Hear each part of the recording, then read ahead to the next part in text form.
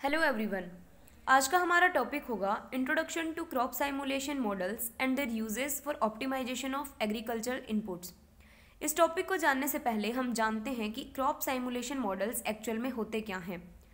Crop simulation models generally तीन word से मिलकर बना है क्रॉप साइमुलेशन एंड मॉडल इन तीनों वर्ड को अलग अलग जानने की कोशिश करते हैं कि एक्चुअल में इनका मीनिंग क्या है।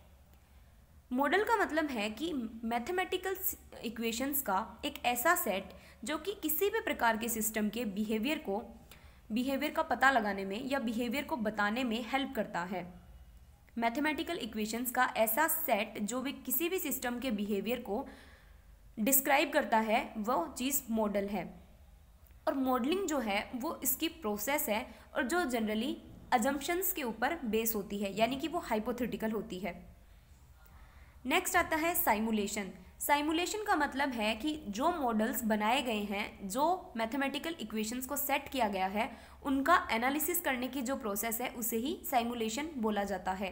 Simulation is the process of building models and analysing the system उस सिस्टम को एनालाइज करने की और मॉडल्स को बनाने की जो प्रोसेस है, उसे ही साइमुलेशन बोला जाता है.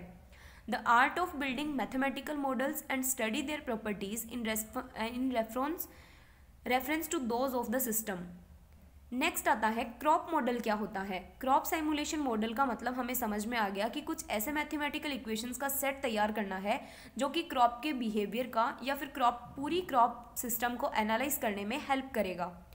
क्रॉप मॉडल को अगर सिंपली डिस्क्राइब किया जाए तो ये सिंपली एक रिप्रेजेंटेशन होता है किसी भी क्रॉप का। उसके सारे जितने भी आउटपुट और उससे रिलेटेड जितने भी प्रोडक्ट्स होंगे, उन सब के बारे में क्रॉप मॉडल जो है, वो एक किसी भी क्रॉप का रिप्रेजेंटेशन या फिर कंप्लीट रिप्रेजेंटेशन देता है। Crop model is simple representation of a crop next आते हैं टाइप्स ऑफ़ मॉडल मॉडल्स जो हैं, वो डिफरेंट डिफरेंट टाइप के हो सकते हैं। For example mechanistic model static model dynamic model या फिर स्टैटिस्टिकल मॉडल एक्सेट्रा ये डिफरेंट टाइप के मॉडल्स के प्रकार हैं। नेक्स्ट आता है कि क्रॉप साइमुलेशन मॉडल्स को जब हम बनाते हैं तो वो किस प्रकार से वर्क करते हैं? सबसे पहले मॉडल को बनाने के लिए उस पर्टिकुलर क्रॉप से रिलेटेड जितने भी इनपुट्स होंगे, जितनी भी प्रैक्टिसेस होंगी एग्जांपल सोइल से रिलेटेड क्लाइमेट प्लांट से रिलेटेड एंड मैनेजमेंट प्रैक्टिसेस का पता होना चाहिए। इन सब इनपुट्स का यूज़ करके एक मॉडल तैयार किया जाता है, जिसके द्वारा हम क्रॉप इल्ड और क्रॉप इल्ड से रिलेटेड अदर फैक्टर्स के बारे में एस्टिमेशन करते हैं या फिर उसका प्रोडक्शन करते हैं। नेक्स्ट आते हैं कि क्रॉप साइमुलेशन मॉडल्स जो हैं, वो कौन कौन से टाइप के साइमुलेशन मॉडल्स बनाए जा चुके हैं?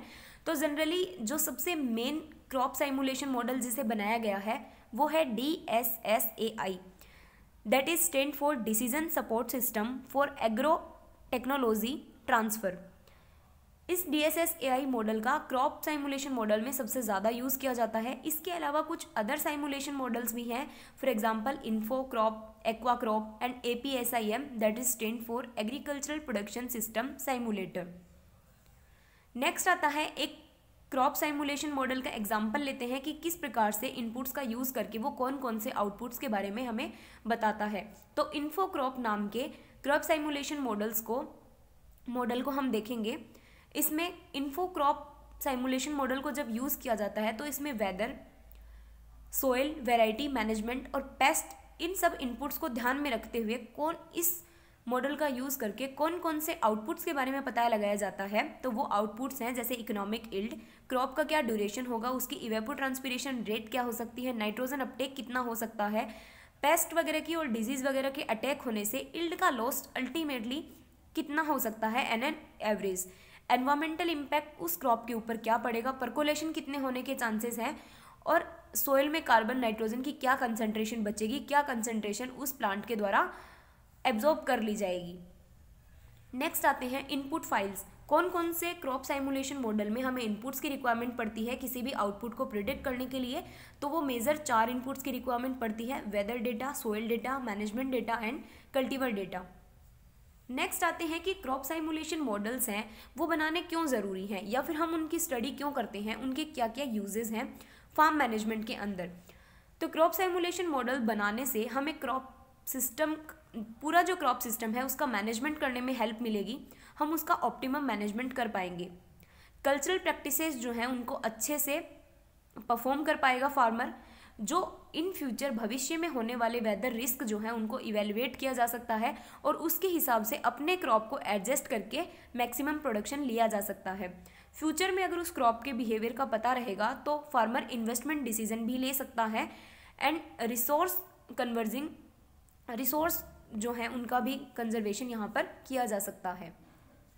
नेक्स्ट आता है अंडरस्टैंडिंग ऑफ़ रिसर्च कि ये रिसर्च फ़ील्ड में किस किस टाइप से क्रॉप साइमुलेशन मॉडल्स जो हैं, वो हेल्प करते हैं। तो क्लाइमेट चेंज के इवेल्युएशन में इल्ड का पहले से ही पता लगाने में, यानी कि इल्ड फोरकास्टिंग करने में साइंटिफिक हाइपोथेसिस को टेस्ट करने में, या फिर कोई भी वेराइटी या फिर कोई भी कल्टीवर जो है, उसका लॉन्ग टर्म वेदर में, आगे भविष्य में होने वाले मौसम में जो भी परिवर्तन होंगे, उस परिवर्तन में वो वेराइटी या वो कल्टीवर जो है, वो कितनी स्टेबिलिटी दिखाएगा ये सब क्रॉप साइमुलेशन मॉडल्स के आधार पर पता लगाया जा सकता है।